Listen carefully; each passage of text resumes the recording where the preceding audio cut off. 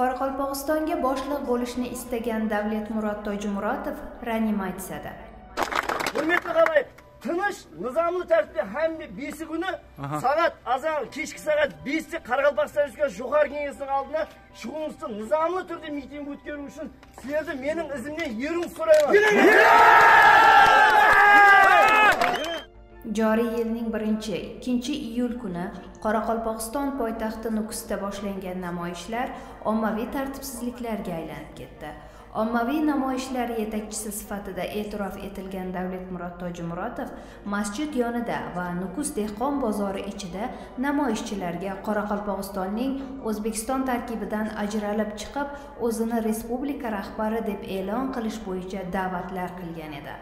Effektuz manbalarining ma'lumotlariga ko'ra davlatmurod tajimuratov ayni vaqtda urganch shahridagi markaziy shifoxonaning jonlantirish bo'limida davolanmoqda. Bosh prokuraturaning 8 iyul kuni bergan ma'lumotiga ko'ra holat bo'yicha qo'zg'atilgan jinoyat ishi doirasida davletmurod tajimuratov qamoqqa olingan. Biroq u hozirda shifoxonaning jonlantirish bo'limida og'ir ahvolda ekanligi aytilmoqda. Jumladan tajimuratov davletmurod va turdanovlarga nisbatan jinoyat kodeksining tegishli moddalari bilan ayblov e'lon qilingan. Ularga nisbatan sudning qarori bilan qamoqqa olish ehtiyot chorasi qo'llanilgan deyiladi bosh prokuratura axborotida.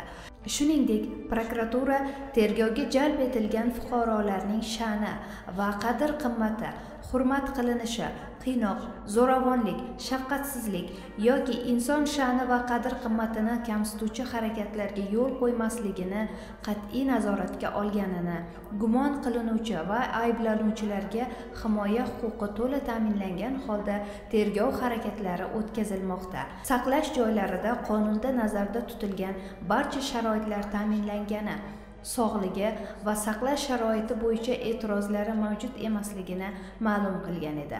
Eslatib o'tamiz dastlab 1 iyul kuni aholini ijtimoiy tarmoqlar orqali noqonuniy namoyishga chorlagan davletmurod tajimuratov profilaktik suhbatga chaqirilgan.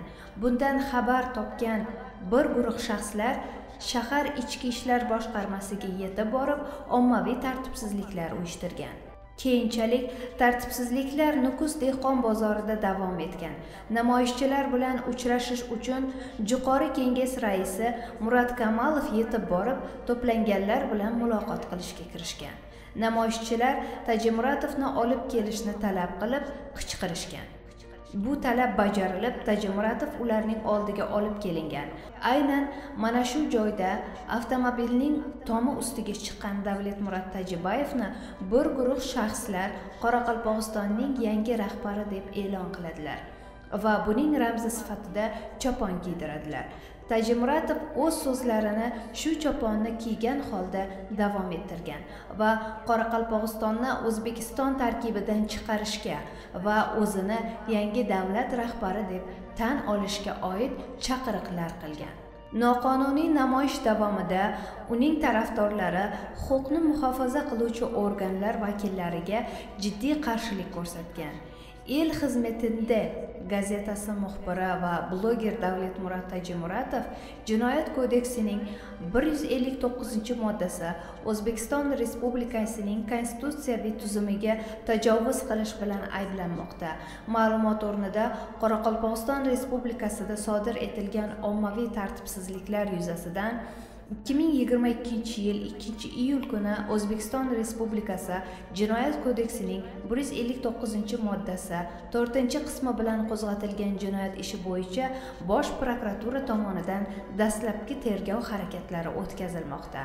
Avvalroq 2022 yil 1 iyul kuni soat 14:50 da el xizmatida gazetasi muharriri va bloger davlatmurod tajimuratov telegramdagi makan uz kanali orqali video murojaat yo'llab video murojaatida fuqarolarni joriy yilning 5 iyul kuni soat 17:00 da qoraqalpog'iston respublikasining ozodligini so'rab jo'qori kenges binosi oldida miting o'tkazishga da'vat qilgani ma'lum qilingan edi shuningdek Tajimaratov bilan birga makan uz sayti jurnalisti lola kallixanovaning harakatlarida jamoat xavfsizligiga tajovuz qilish jinoyati alomatlari aniqlangan.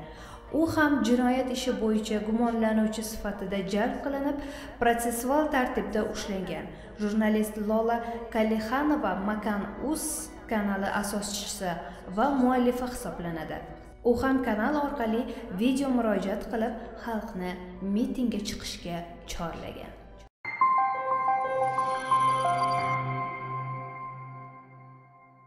Қарақалпақстан жоғары кеңесінде болдым ертең бүгіннің өзінде қарақалпақстан республикасынан нызамlı түрде тыныш тәртіп жолменен қарақалпақстан республикасының азаттығын сұрауды сұрап нызамlı митинг қылу бойынша мұражат еттім сіздерден өтініш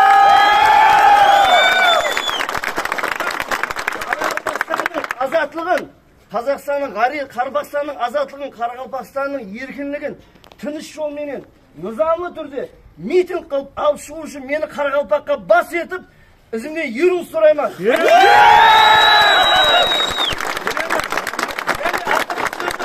құрметті ағалай Kılınış nizamlı tartibde hamdi bisi günü. Sanat azan keşki sanat bisi Karagolpakistan Respublikasi Jo'xar Kengesinin aldına şuğunuzda nizamlı türde miting o'tkazish uchun sizlardan mening izimdan yeringizni so'rayman.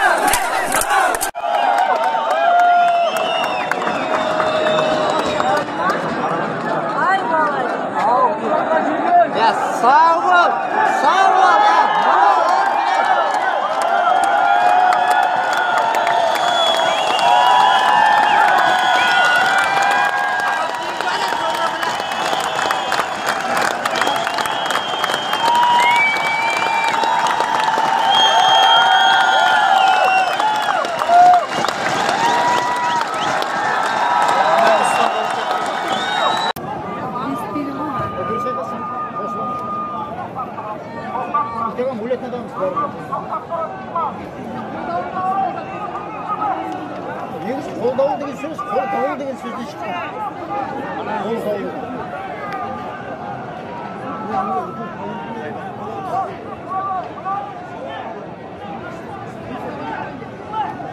ішінде бір зат дейді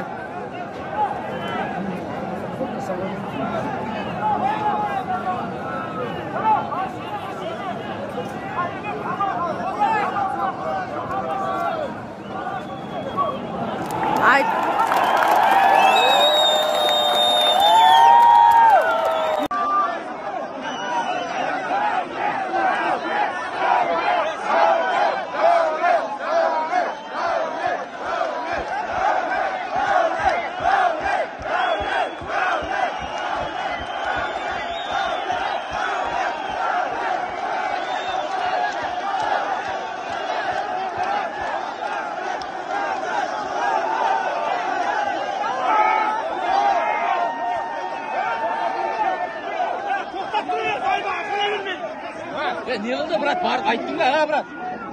Ayttın da. Ayttım lan. Oldu, oldu. Oldu. Bugünkü yıkılıp beni jeni kamaytın bulsa, onda Onda basar götür. Oldu. Sizler beni kamat bol sizlerin bolunsa. Bol. Söz söz.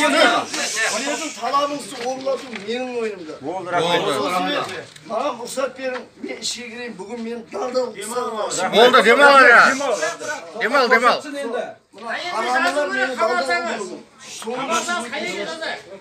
жазбайсаң жазбаймыз шығамыз болған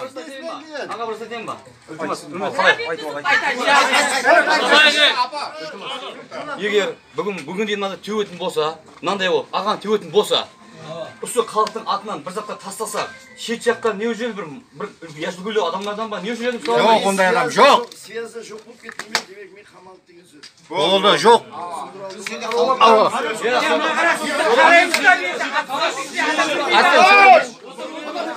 Отыр, отыр, отыр. Al beni anlar. Ana ambulans hatlarına ziyaret ilgisi e, hükümet var. Memleket başlığının hafta transportunu huyu zakonunda kayıpsemek kor. Onu buzlu değil de sonra seviyemşi devlet murat değil benim 15 yıl sorup tuttu. Sonra uşun men yege kontaktga chiqmay ketsem 200 so'rab. Bundan keyin, znash meni olib ketdi degan so'z. Bo'ldi. Tushundira oldim qo'ya. Bo'ldi, bo'ldi.